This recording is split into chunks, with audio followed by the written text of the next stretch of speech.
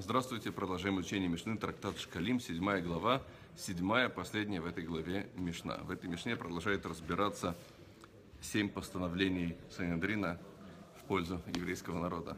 Говорит Святая Мишна, «Аля мелах валяйцим шаю акуаним, э, шию акуаним неутин бехен, валя пара шело ю молин бефра, валя кинин абсулот шию ваот мишель цебур, раби Йосе омер, а это кинин, масапек это абсулот».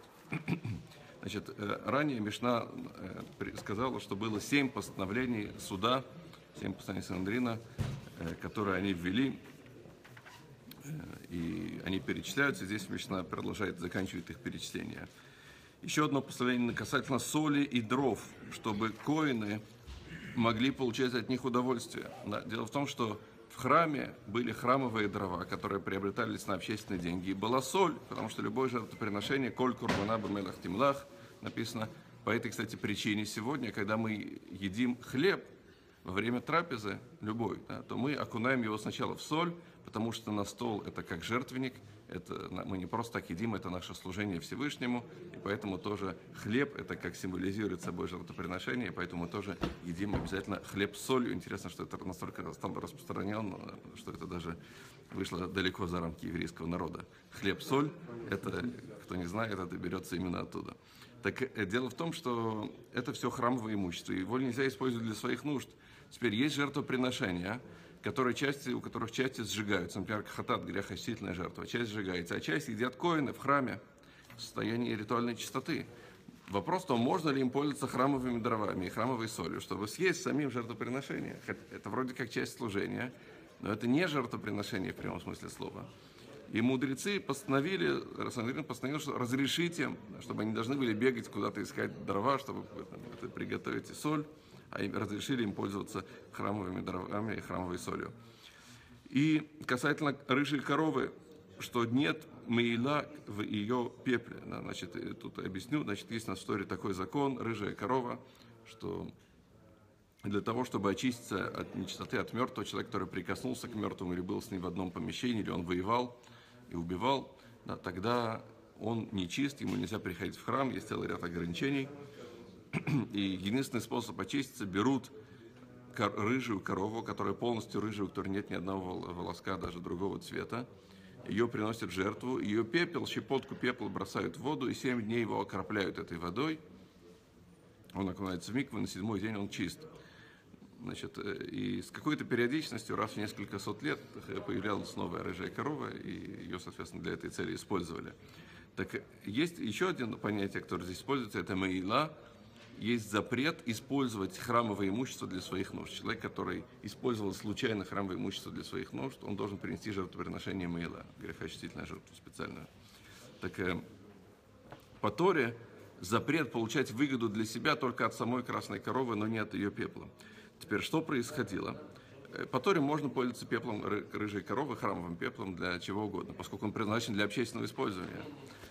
Но что происходило? Поскольку пепел, он лечит раны, видимо, считали, что пепел, такой пепел он особенно лечит, то люди приходили в храм и брали щепотки этого пепла, чтобы, э, чтобы в качестве лекарства, видимо, очень дорогого.